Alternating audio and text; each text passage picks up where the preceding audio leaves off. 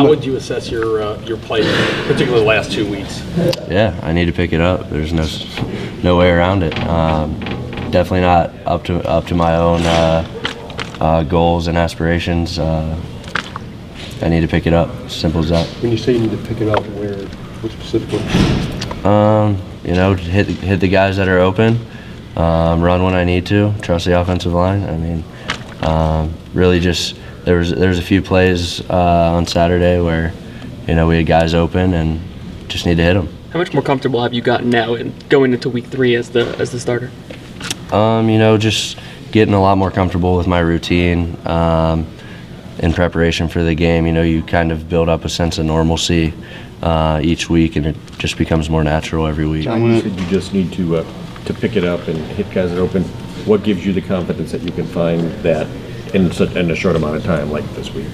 Um, you know, I've done it my whole life, and uh, you know, it's just a matter of, of repping the plays and, and just hitting guys when they're open. Simple as that.